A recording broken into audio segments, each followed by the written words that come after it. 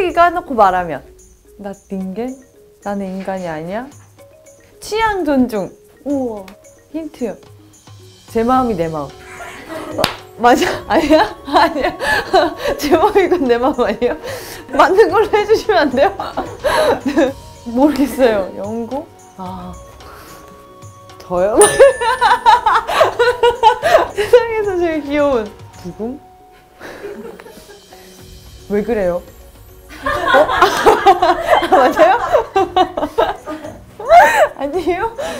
말을 잊지 못한다. 그게 너 평생 갈 거야? 이런 건가? 네, 일생 가 거야? 아, 낄 때 끼고 빠질 때 빠져? 동공지진? 네. 고나리자? 모나리자? 대답이 답도 없다. 아, 최고 애정? 아! 복잡한 세상 편하게 살자. 네. 다 맞춘 것 같은데요? 아닌가요? 널 생각해. 그래, 널 생각해. 아침에는 나나나나나. 예. 사랑합니다. 네.